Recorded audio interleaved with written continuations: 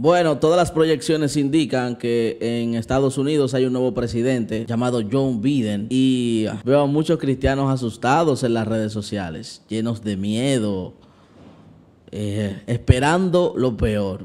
Pero ¿por qué? ¿Por qué? ¿Por qué? Déjenme darle luz.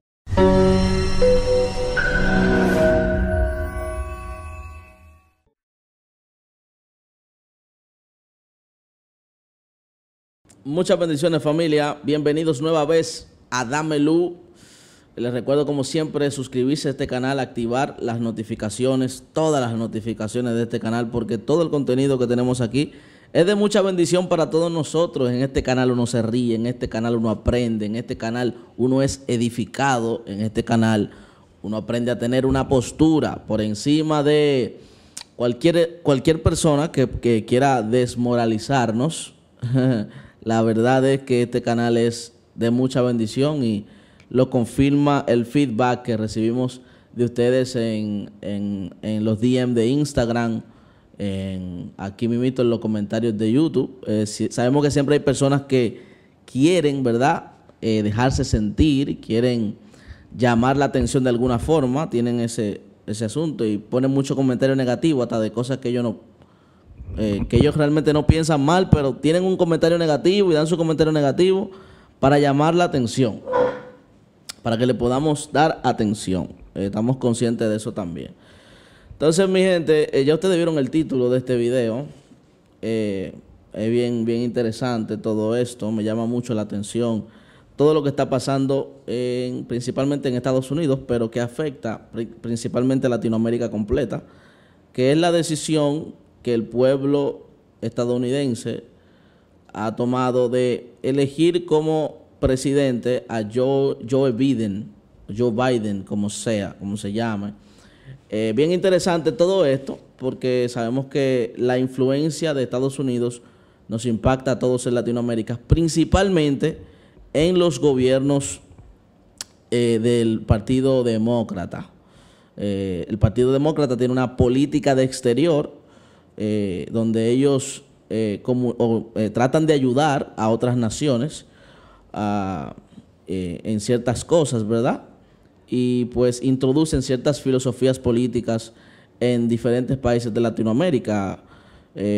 yo tengo claramente el claro recuerdo de que cuando el expresidente Obama, Barack Obama, era presidente de Estados Unidos, a mi país, a mi país, enviaron al embajador norteamericano junto con su esposo. Enviaron al embajador norteamericano aquí al país junto con su esposo, eh, pues para, para, para ser embajador, para ser embajador, amén, aleluya, claro, junto con su esposo, al embajador junto con su esposo. Y todos estamos conscientes, ¿no? De que, eh, y es público, es público que muchas de las compañías y empresas que ayudaron en el financiamiento de la campaña de Joe, Biden. Ah, son compañías y son movimientos también políticos y sociales que promueven el aborto, que promueven eh, ah, el, matrimonio igualitario, como le llaman, el, o, apoyan todas esas ideologías de género y se espera, se espera, ¿verdad que sí? Que pues en este próximo gobierno de Joe, Biden, esa filosofía social esté impactando fuertemente Estados Unidos y consecuentemente nos está impactando a todos en Latinoamérica. Yo no soy norteamericano, no puedo hablar por ustedes. Ah, si yo hubiera sido norteamericano, yo hubiera votado por Trump. Ah, pero yo soy dominicano, yo soy dominicano, soy cristiano y soy liceísta. Yo de otra cosa más, yo no sé. Entonces, es un tema que amerita mucha seriedad, aunque como siempre uno trata de, hablarlo de forma sencilla, pero es un tema que amerita mucha seriedad porque influye muchas cosas. Hay muchas cosas que influyen y que de una u otra forma nos van a impactar consecuentemente a que este candidato haya ganado en las elecciones. Hay diferentes movimientos eh, cristianos que están en contra de, todo lo que está pasando en, eh, en Estados Unidos con esa filosofía que tienen el Partido Republicano de promover ese, ese tipo de, de ideología de género y, promover los abortos y todo eso. Eh, y muchas de esas compañías que financiaron y de esos movimientos que financiaron en gran parte la campaña eh, presidencial de Joe Biden han dicho públicamente que su principal enemigo son los cristianos protestantes. Los cristianos son nuestros, públicamente lo han dicho, las informaciones están por ahí por internet.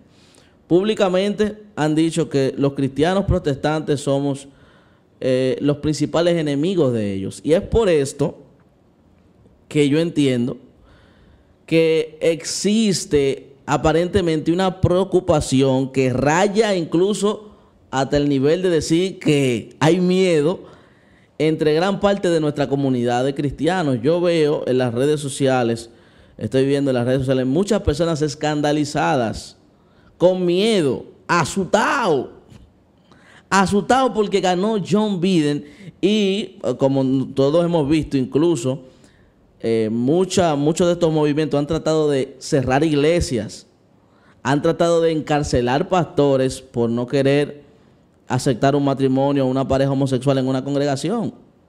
En algunos estados, todas esas cosas las hemos estado viendo.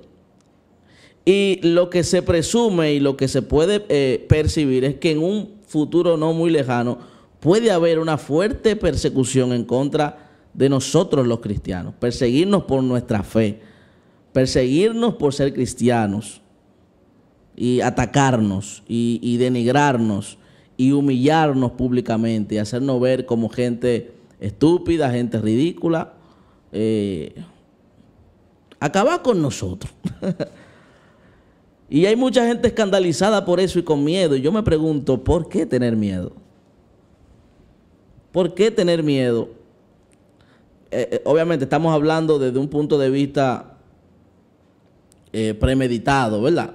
Estamos hablando del futuro, de un futuro que ni siquiera conocemos. Pero ¿por qué nosotros tenemos que tener miedo? Digamos que sí. Es más, vamos a decir que es porque ya, eso está escrito. Todo lo que está pasando está escrito ya hace mucho. O sea, no está pasando nada nuevo. Incluso, si viene una persecución de parte del nuevo gobierno de Estados Unidos hacia la iglesia cristiana, no es la primera vez tampoco que algo así sucede. No es la primera vez que los cristianos somos perseguidos.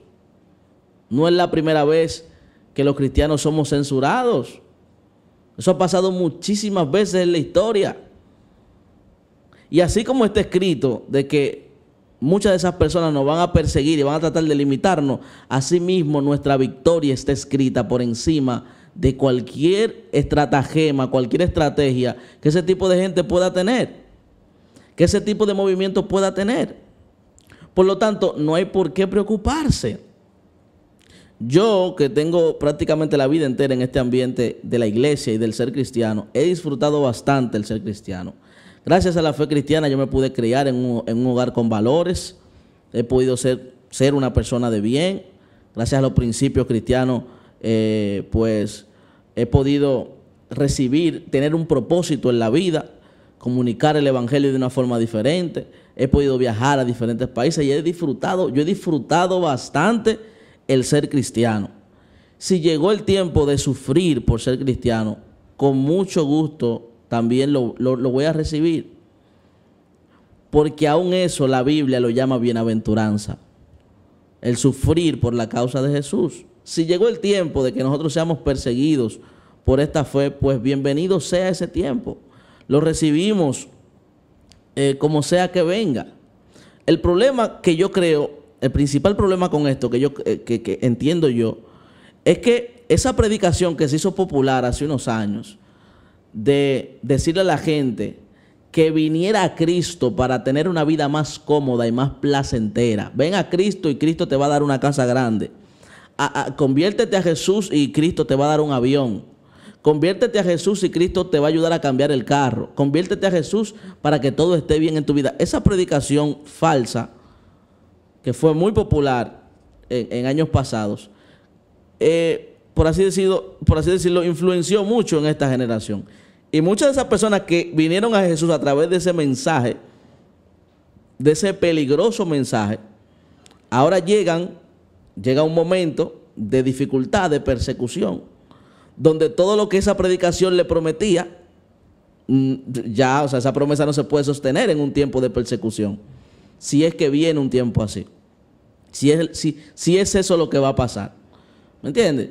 Entonces, ya, o sea, ya, espérate, pero Cristo no me está cumpliendo con, Esto no fue lo que a mí me vendieron, ¿me entiendes? Eh, lo que asusta a mucha gente es que viene algo que nos va a sacar como iglesia de nuestra zona de confort. Yo no sé si es Biden, yo no sé si es Estados Unidos, yo no sé, sea lo que sea, pero yo sé que viene algo al mundo que nos va a sacar a todos de nuestra zona de confort. ¿Y sabes qué sucede cuando sacan a la iglesia de la zona de confort? ¿Sabes qué sucede cuando vienen los perseguidores? ¿Sabes qué sucede cuando vienen los opresores a tratar de censurarnos y de limitarnos? Más nos multiplicamos, más crecemos, más nos ensanchamos. Y es por eso que no debemos de tener miedo. Así como está escrito que muchos no perseguirán, así mismo está escrito que nosotros por encima de esa persecución vamos a tener la victoria. Las puertas del Hades no van a prevalecer en contra de la iglesia de Cristo. Puede venir Biden, puede venir los demócratas, pueden venir, puede venir quien sea, puede venir quien sea. Al final del día, la iglesia gana. Nosotros estamos viviendo una película de la cual conocemos el final. Y es por eso que no podemos tener miedo.